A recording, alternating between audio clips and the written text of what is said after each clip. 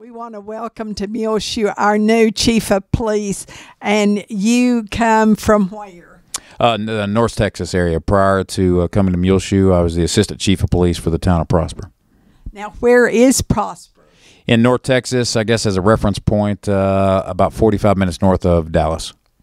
And so now tell us your name. Gary McHone.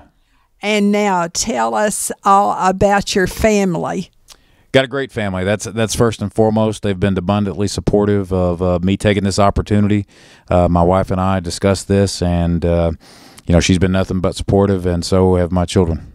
And now uh, tell me your wife's name. Susan. Susan, and she originally is from our area. Yes, ma'am. She's originally from Tulia, grew up in this area, and uh, graduated from Texas Tech many years ago, and actually uh, taught here in the Muleshoe ISD several years ago. Oh, really? I'll be. Well, she is a Muleshoeite already. Yes, ma'am.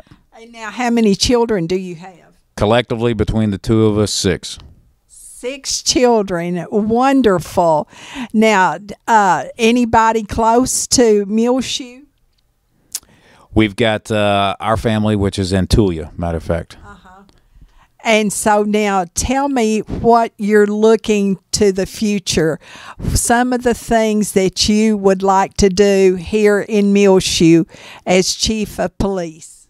I think one of the first and foremost uh, things that I'm wanting to do here as the chief is listen to the community and listen to the department of how I can best help and serve them. Um, I'm a big believer in servant leadership, so I want to ensure that I'm getting feedback from the folks here at the police department as well as the community of how we can best serve them. And if we need to improve in certain areas in terms of that, I want to do that. But one of the things I am looking, uh, you know, the most forward to or, or a lot to is establishing some community-based programs here that will, you know, interact the community as well as the police department, ISD, local businesses, residents, and so forth. Now, uh, is there anything specific you're looking at maybe doing in the near future? Yes, ma'am. Uh, we we've looked at uh, a coffee with a cop, which is just just that. It's a Coffee with the cop. coffee with a cop, coffee with a cop to come out and have a discussion, an informal discussion with officers, uh, to get a chance to interact with us, myself, and other officers within the community at uh, local businesses that will serve coffee. And I would just have folks be on the lookout for that in the near future. We'll put that out on social media and uh, various other venues to let everybody aware, make them uh, fully aware of that. I'd also like to look at the uh, Citizens Police Academy or establishing, you know, citizens on patrol and volunteers in police service here in the town. And uh, hopeful about doing that, and we're going to hit that hard and heavy t- either toward the end of this year or the first part of next year to seek interest on that and uh, get a class going for the spring. And now, uh, what would that class entail? Citizens Police Academy is a real short, abbreviated version of what an officer goes through during a police academy. So it would be one night a week for a 12 to 14 week period that would encompass touching on everything from the Texas Penal Code, Transportation Code, to uh, investigative practices, procedures, traffic direction, and so forth. And we would have instructors come in not only from the police department, but outside agencies as well.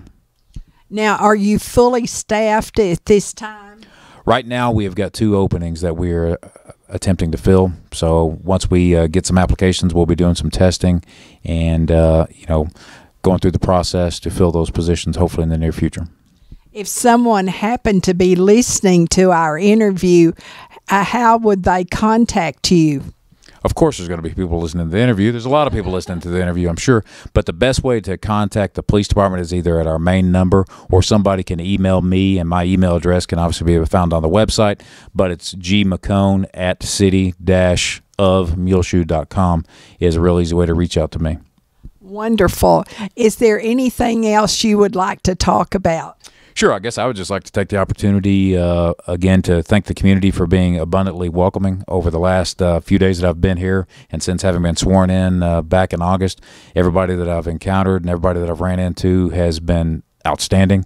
They've made my family and I feel very welcomed uh, in this area and uh, excited about the opportunities that uh, lay ahead here and excited about serving this community. Wonderful. And we're so glad to have you here in Muleshoe, the Mule Memorial City. And if we can help you at Channel 6 in any way, please call on us. I will do that for sure. Thank you all.